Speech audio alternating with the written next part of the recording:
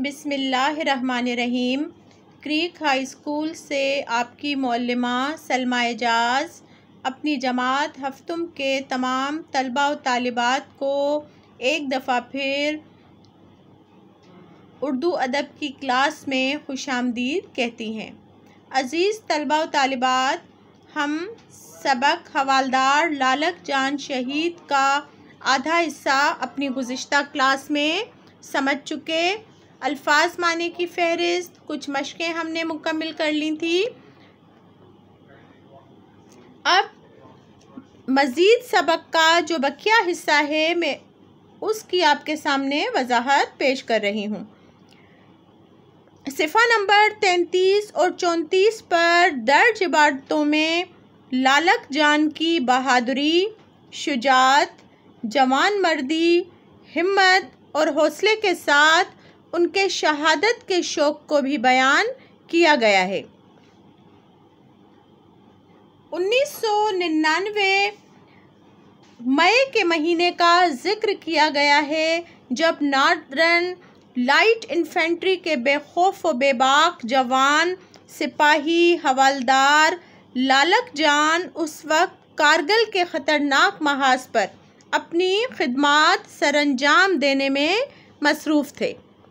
कारगिल का महाज जहाँ ज़िंदगी और मौत साथ साथ रक्स करती हैं।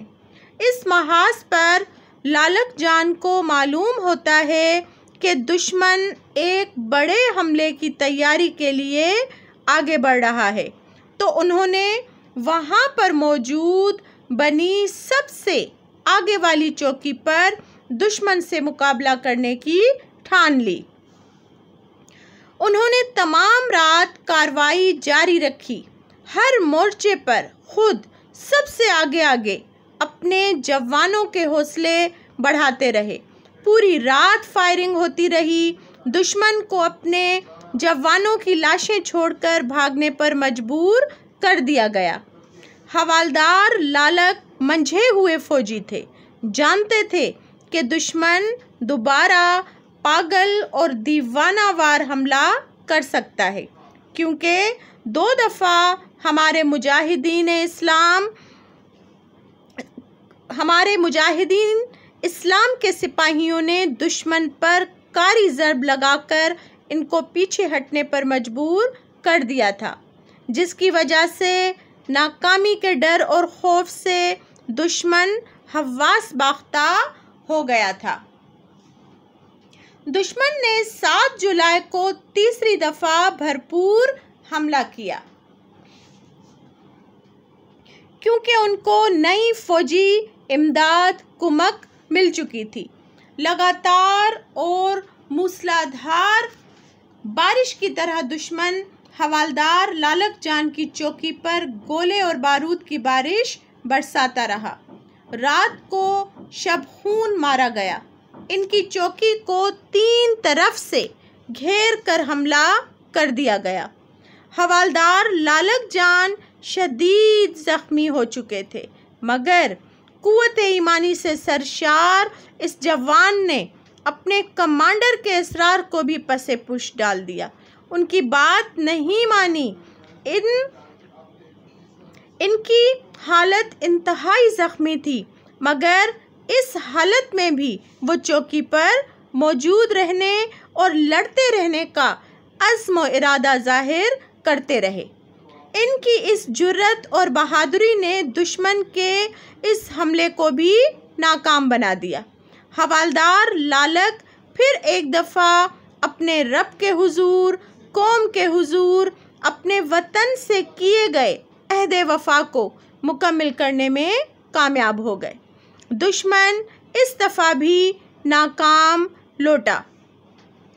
हुब्बुल वतनी से सरशार मट्टी के बेटे, पाकिस्तान के अजीम बेटे इस बार भी कामयाब हुए। मगर शदीद ज़ख्मों से बह जाने वाले खून और इस ज़ख्मी हालत में भी हवालदार लालक मुसलसल जंग करते रहने की वजह से ज़ख्मों की मज़ीद ताब न लाते हुए अपने खालिक हकीकी से जा मिले। दुश्मन को शिकस्त देने वाला बहादुर सिपाही चौकी पर ही अपने ज़ख्मों से शिकस्त खा गया। शहादत का जाम पी लिया। उनकी जुर्रत, बहादुरी, बेबाकी, हिम्मत और हौसले को सलाम पेश करते हुए जज्बा शहादत के शौक के नतीजे में पाकिस्तान का सबसे बड़ा फौजी एजाज़ निशान हैदर दिया गया।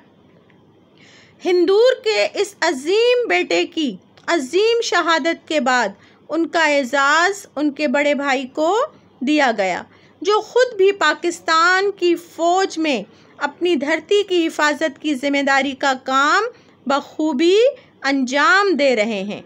हम सब सलाम पेश करते हैं अपने बहादुर शहदा को, जिनकी बहादुरी दिलेरी और कुर्बानियों की वजह से आज हमारा परचम कारगिल की चोटियों पर उसी तरह फ़ख्र के साथ लहरा रहा है।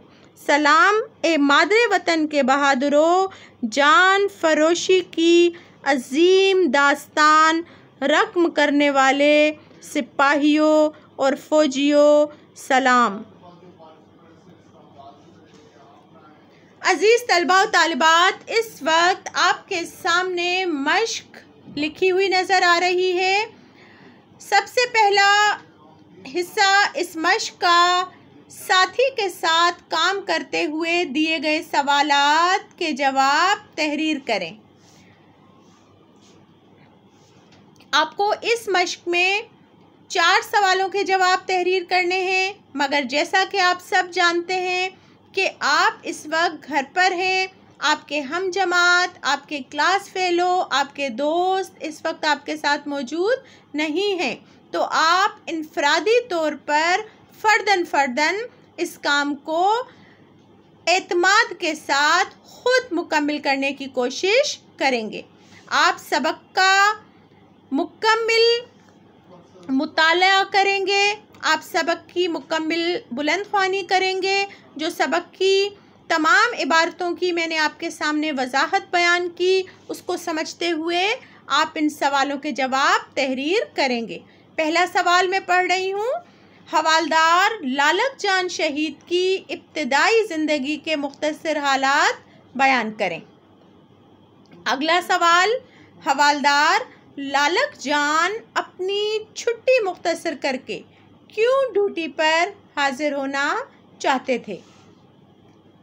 तीसरा सवाल, हिंदूर के इस जियाले फर्जन की तरबियत किस जज्बे की अक्कासी करती है?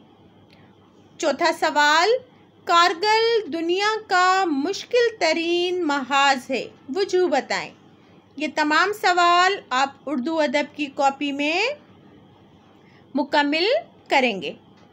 मश्क नंबर दो हवालदार लालक जान ने अपनी चौकी का दिफा किस तरह किया?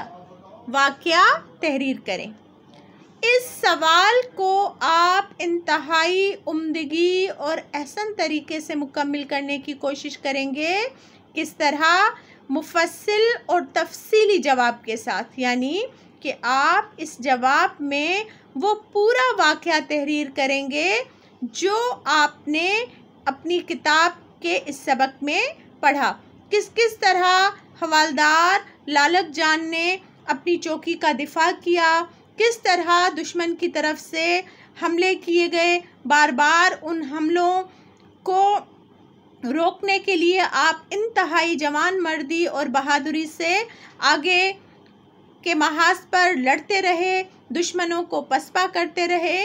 वो तमाम वाक़ जो आपने पढ़ा है, इसमें तफसील के साथ आपको बयान करना है। अज़ीज़ तलबा तालिबात, इस वक्त आपके सामने जमात हफ्तुम के लिए दिया जाने वाला तहरीरी काम दर्ज है। किताब हमारी उर्दू सिफ़ा नंबर पैंतीस पर दर्ज, मश्क नंबर एक और दो को उर्दू अदब की कॉपी में मुकम्मल कीजिए।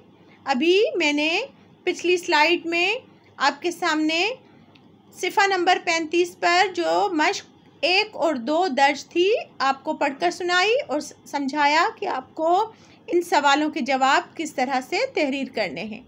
उसके बाद सबक का मरकज़ी ख्याल तहरीर कीजिए।